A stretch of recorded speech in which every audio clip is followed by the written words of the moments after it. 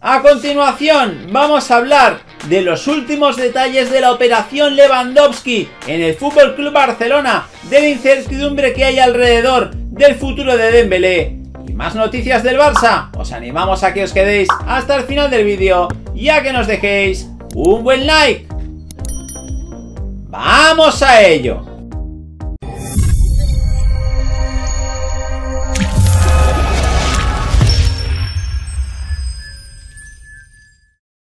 Hola de nuevo gente, ¿cómo estáis? Bienvenidos a un nuevo vídeo de Objetivo Gol. Vamos con la última hora del Barcelona.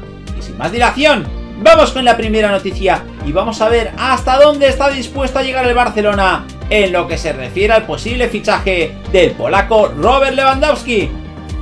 En los últimos días la posibilidad de fichar a Robert Lewandowski ha cobrado fuerza en el entorno del Barcelona. Sin embargo, este lunes el periodista catalán Gerard Romero dejó claro que económicamente puede ser un fichaje casi imposible para el club, considerando las aspiraciones económicas del Bayern de Múnich y la elevada ficha del polaco. Según Romero, la directiva del Barça estaría dispuesta a pagar un máximo de 25 o 30 millones de euros por el 9, incluyendo variables. Con un valor de mercado de 50 kilos en Transfermarkt, la cifra filtrada por Romero parece muy lejana a los que el conjunto bávaro pudiese pedir por el delantero de 33 años, quien termina contrato en junio de 2023 y en principio no saldría por menos de 60 millones. Sin embargo, si Robert opta por no renovar, tal vez los alemanes bajen sus pretensiones. Y es que si Lewandowski se niega a extender su contrato con el Bayern, podría marcharse libre en julio de 2023, al igual que sucedió con David Alaba el año pasado o Niklas Zule, quien ya acordó su marcha al Borussia Dortmund como agente libre el próximo mes de julio. Por ello, la prioridad de los de Múnich, más allá de aceptar un traspaso al Barça o cualquier otro club, es renovar a su goleador, al igual que intentan hacer con Sergi Gnabry. El Bayern ya ha tenido malas experiencias con jugadores que se niegan a renovar por su política enfocada en no ofrecer salarios demasiado elevados, por lo cual la directiva encabezada por Dieter Mayer podría variar su estrategia. En ese sentido, Lewandowski exigiría al Bayern un salario cercano a los 20 kilos por temporada, una cifra que de momento en Bavaria no están dispuestos a pagar. El polaco factura actualmente 12.6 millones por temporada, los cuales pueden alcanzar los 19 kilos incluyendo variables. Si el Bayern no está dispuesto a complacerle, mucho menos el Barça. Los problemas del club con el fair play financiero han hecho que la directiva se enfoque en fichajes a coste cero y con salarios por debajo de los 10 millones al año. Una de las razones por las cuales la renovación de jugadores como Usman Dembélé y Ronald Araujo siguen estancadas. Además, los problemas con el límite salarial obligarán a la directiva a concretar varias salidas en verano, por lo cual la única forma de que Robert Lewandowski llegara a fichar con el conjunto blaugrana sería ganando mucho menos que en Alemania. Por tanto, hasta aquí puede llegar el Barcelona, pero vamos a ver cuáles son los motivos del polaco para salir del Bayern de Múnich. Robert Lewandowski será uno de los protagonistas del mercado de fichajes de verano. El delantero polaco del Bayern de Múnich tiene decidido cambiar de aires y se especula con un posible acuerdo con el FC Barcelona. En Polonia aseguran que Lewandowski lo tiene decidido y explican algunos de los motivos que habrían hecho que el delantero quisiera finalizar su etapa con el Bayern de Múnich. Uno de ellos es que considera que ya ha ganado todo lo que podía ganar en el Allianz Arena. Además, logró superar el récord de Jared Müller, otro hito histórico en su carrera. Siempre, según la prensa polaca, el futbolista no sería muy querido en el vestuario del Bayern ya que se le vería como una persona solitaria y poco comunicativa, especialmente con los más jóvenes. Esto se habría notado en los partidos donde algunos gestos de Lewandowski habrían hecho saltar las alarmas y algunos de sus compañeros se habrían quejado. Otro de los motivos sería que Lewandowski no estaría nada de acuerdo con las tácticas ofensivas que propone su técnico Julian Nagelsmann. El polaco sería un firme detractor de ellas y por eso también vería bien un cambio de aires para cerrar su etapa en el Bayern y arrancar un nuevo reto en su carrera deportiva. Vamos ahora a hablar de las dudas que hay en Barça sobre el futuro de Ousmane Dembélé.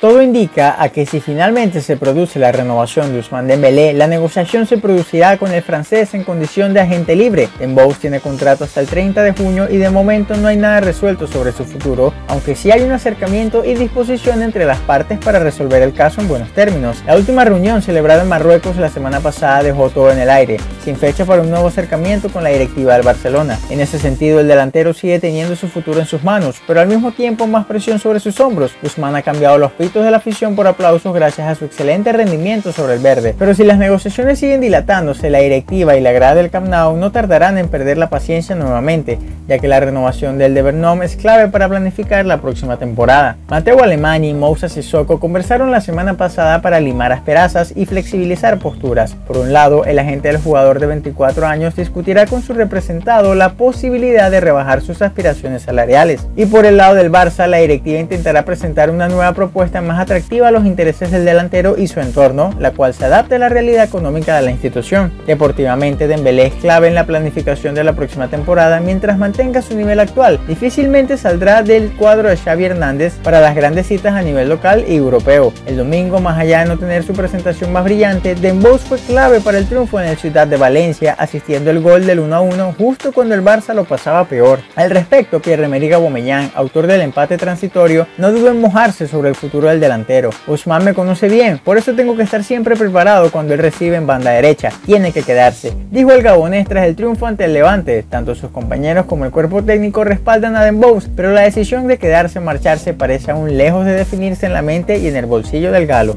Vamos a hablar ahora de la urgencia que hay en Can Barça de recuperar al lesionado Serginho Dest. Sergino Des está en la fase final de la recuperación de la lesión en el bíceps femoral del muslo izquierdo, sufrida antes del Galatasaray en Estambul. Des ha entrado en la cuarta semana del proceso y el propio Xavi Hernández explicó en la previa al partido ante el Levante que tenía la esperanza de recuperarlo para esta semana con los duelos ante el Intrash y el Cádiz en perspectiva. Des aún no ha trabajado con el grupo y parece difícil que esté recuperado frente a los alemanes, pero ante los andaluces el próximo lunes de Pascua puede ser el día idóneo para su reaparición. El Barça lo necesita con urgencia para que Jordi Alba pueda tener algún descanso. El del Hospitalet está exprimido al máximo y ante el Levante se notó el desgaste. Pese a que aún tuvo restos para poner el centro del gol de Luke de Jong, Alba ha disputado los ocho últimos partidos del Barça de forma consecutiva como titular. Su última ausencia fue en el duelo liguero frente al Athletic en el Camp por sanción. Des fue precisamente su sustituto en el duelo ante los bilbayanos jugando por la izquierda. Xavi apuntó los nombres de Des y Mingueza como alternativas en la actual plantilla a Jordi Alba. Alejandro Valdea aún está demasiado tierno para ser una opción real a estas alturas de temporada con tanto en juego. Mingueza se situó en la izquierda, por ejemplo, en los últimos minutos del partido ante los Asuna en el Sadar, donde tampoco estuvo Jordi Alba y sufrió mucho. La otra ausencia de Alba fue en el Mallorca, en el primer partido del 2022, y Xavi se decidió por Araujo en el carril zurdo y Mingueza actuó por la derecha, ya que Alves aún no podía ser inscrito. Un centro de Mingueza propició precisamente el único gol del partido, obra de Luke de Jong. De sigue con su trabajo específico y Xavi espera tenerlo cuanto antes. El norteamericano y Memphis deben ser los próximos en volver y en poco tiempo. También debe producirse la reaparición de Sergi Roberto y Umtiti. En el caso de Ansu Fati, el canterano ya trabaja como uno más y recibirá la alta médica en cualquier momento. Sus sensaciones dictarán. Y ya para acabar, vamos a ver cómo Joan Laporta y Eric García han inaugurado el Barça Academy World Cup 2022. El presidente de Barcelona, Joan Laporta, ha inaugurado la novena edición de la Barca Academy World Cup Present Alliance 2022 en una ceremonia celebrada esta mañana en el estadio Joan Cruyff ante cerca de 1.200 niños y unos 3.000 familiares llegados de todo el mundo. El torneo que ha arrancado este mediodía reúne a un total de 104 equipos de 15 países que representan a 26 Barça Academy y Barça Academy Camps. El padrino del torneo y exjugador de la Barça Escola Barcelona, Eric García, tampoco ha querido perderse esta inauguración y antes de su entrenamiento con el primer equipo ha pasado a saludar a los jóvenes deportistas. En su discurso de inauguración, Joan Laporta ha querido agradecer a las familias que desde todo el mundo han venido a Barcelona a disfrutar de la competición